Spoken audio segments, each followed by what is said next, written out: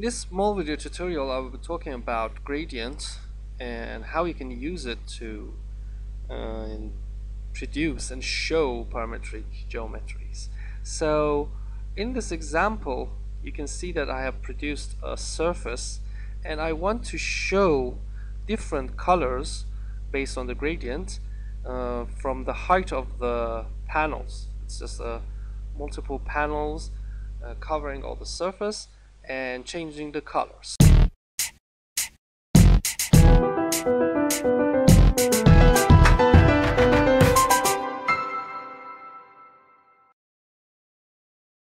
So let's get started. First of all, you can produce a surface easily. I can go to, uh, let me produce a rectangle here and rebuild it so it has more isocurves. I have 30 to 30 and that's the surface. Okay, uh, we can use soft edit surface to make it a little bit interesting and change the surface okay we can control it by giving it a number something like this okay this is the base surface you can choose or make any surface you like and let's import this into grasshopper. Uh, the second step we need is to produce panels. So the best way if you have a surface let's assume that we have a surface and we want to make those panels is to use two tools. The first is to use a tool called iso trim and what it does is it trims the surface with the iso curves and it uses a domain 2 input. So basically the second tool we combine with isotrim is the divide. I'll make it smaller. And it's the divide domain 2 and divide domain 2 makes the surface domain that's the domain we have here uh, mm, divided by a u and a v number. So combining this surface isotrim divide domain 2 which is basically the, the easiest way to make the surface trimmed by uh, equally distributed domain uh, panels you can use isotrim divide domain 2 to make this. So if I go and double click and search for ISO you can see that isotrim is the tool. You can find it in surface utility. And for the domain which I will be talking about isotrim later in a video for those who want to know exactly what isotrim is. But for in uh, for this example we use divide domain 2 to divide the surface into u and v. So we divide domain 2 the surface into the domains the domain of the surface is divided by u count and v count so we can give it a number like 25 to 25 and you can see that the surface is divided into sections and a subset of the base surface. So this is the fast and easiest way uh, you can produce the subsurface of a surface. And now we want to color these subsurfaces based on their heights because we want to make this for example green because it's higher and make this red because it's uh, lower. So what we say in our mind is that this is higher because the subset of the surface the subsurface has a point. The z of the point is more for this point rather than this point. So I will use the z of the, the z coordinate of the point to define which one is higher and which one is lower. So uh, let's um, extract the uh, um, centroid of the subsurface. And let's go to the surface and choose area and extract the area and we have the centroid. Now we can just go to the uh, vector and uh, what we are doing is deconstructing the point. We need the z coordinate of the point.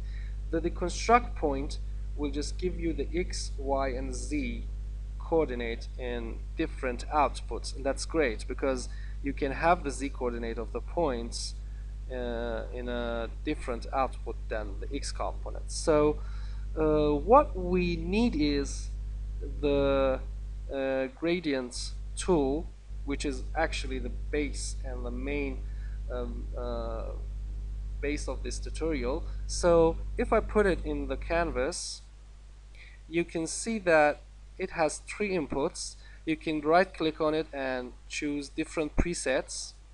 And here's the presets. And we have a lower limit an upper limit and a parameter here for the color. So what should I do is uh, to change these inputs. The first is the lower limit and it's zero. And uh, and what it means is that the color in the first uh, place is zero. So here we have a zero. And then it goes to the upper limit. So if I check the upper limit it's 1 and it says that the blue is 1 so we have a 0 and have 1 and it asks about what we want.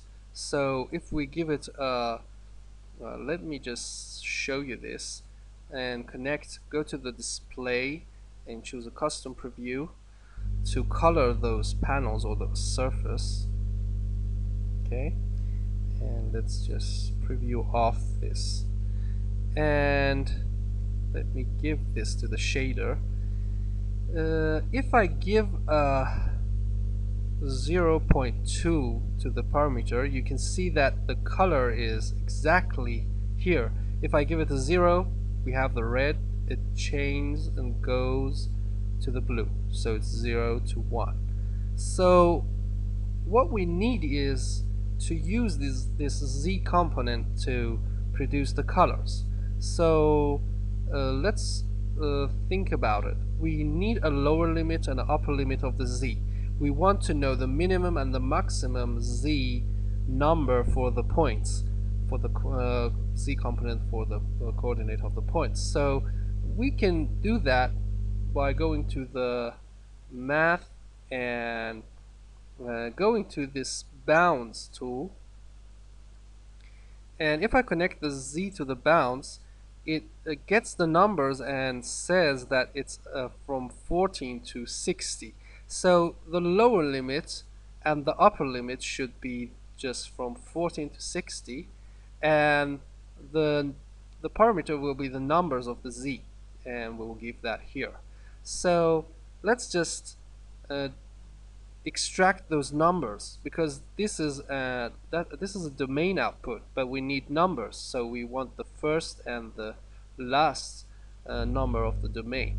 So we need another step and we go to the domain and we'll choose deconstruct domain. So we'll extract the first and the last number of domains. So I'm constructing this to the start 14 and to the end 60 and let's give this to the lower limit and upper limit of the gradient and the parameter is exactly the z because it's the height of the subsurface we needed and you can see that we finished the uh, algorithm by giving it to the uh, deconstruct domain and the lower limit and the upper limit.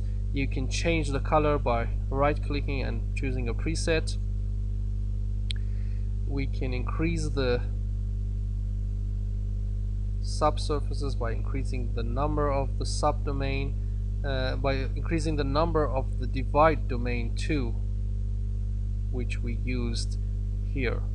And uh, we can see that if I change the surface so let's just soft edit surface this and move this up you can see that the color will change.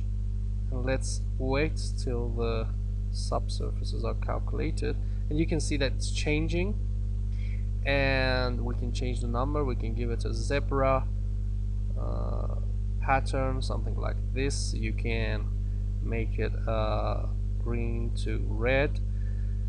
And that will exactly answer our question because it's uh, using the z component of the points to pick up from the gradient bucket of colors.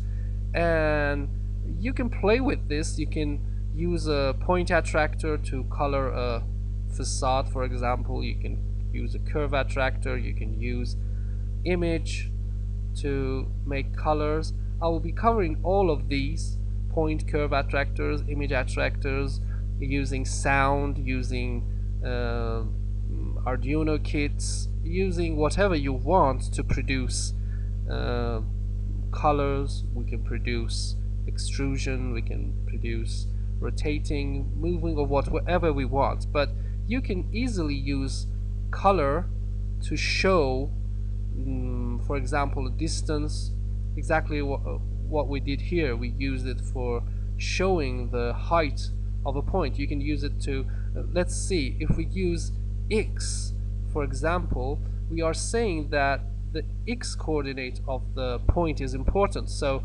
uh, it will color it from green to red from here from the left part to the right part. So if I give it an X component and let's see it here you can see that it will change.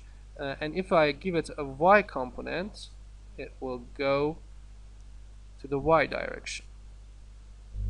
You can combine X, Y and Z. You can do whatever you want. You can use a point attractor. It's, uh, it's a little bit complicated than this one uh, but it's easy.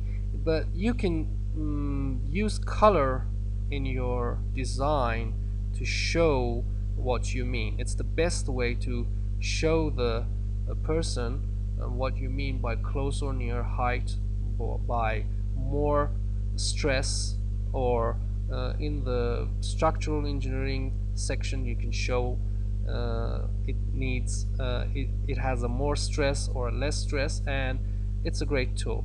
Thank you for watching. If you have any questions about grasshopper commands or you uh, or there is a command you need to know and you don't know what it is just ask in the comments or put a comment under this video or in the website and I will record it as soon as possible.